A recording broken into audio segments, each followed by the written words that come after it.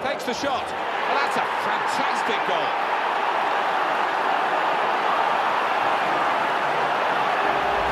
Look again at the goal that has put them even further ahead. It is men against boys, and uh, there's only one winner here, I think.